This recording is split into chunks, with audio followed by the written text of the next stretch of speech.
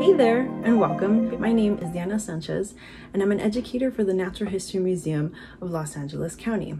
All month long from September 15th to October 15th, we will be recognizing and celebrating the rich histories and enduring resilience of the Latinx community. Los Angeles was and continues to be shaped by the countless contributions of Latinx peoples, creating symbols and spaces where heritage thrives. Today, I want to talk to you about the origin and meaning behind artists and protesters using butterflies as a call to action and empathy for migrant rights. When you think of protests and demonstrations, what symbols come to mind? Fists, peace signs, hearts are a few, but monarch butterflies are commonly used as symbols to represent the dignity and resilience of immigrants. Generally, butterflies represent transformation and rebirth.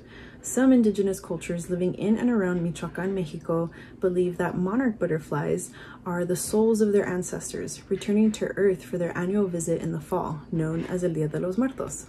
The arrival and departure of thousands of butterflies from the US and Canada is due to the yearly migration pattern, which is reflective of Latinx immigration into and out of the US.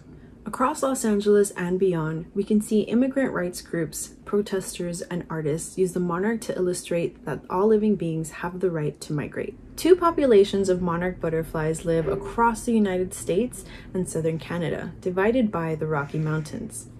While the western group doesn't travel too far to overwinter, the eastern population of monarch butterflies undergo an incredible journey to survive. During the spring and summer breeding season, each generation of butterfly live for two to five weeks. When temperatures drop, the last generation of butterflies embark on an incredible 3,000 mile journey south to Mexico to overwinter between October and March. This last generation lives up to nine months and only reproduces during their journey back up north. It will take three to four generations to reach their final destination, where the migration pattern begins anew. Today, their survival is threatened by human caused habitat loss and climate change. If you're interested in monarch butterfly conservation, click the links below in the description to connect with Monarch Joint Venture and Eco-Life Conservation. You can also become a community scientist by uploading your own pictures of monarch butterflies onto iNaturalist. That will help scientists better understand butterfly behavior. Monarchs are not alone. Animals across the world throughout time have left intolerable living conditions in order to survive, and humans are no different. Immigrants leave their home countries in order to escape war, famine, a strapped economy, or abusive policies.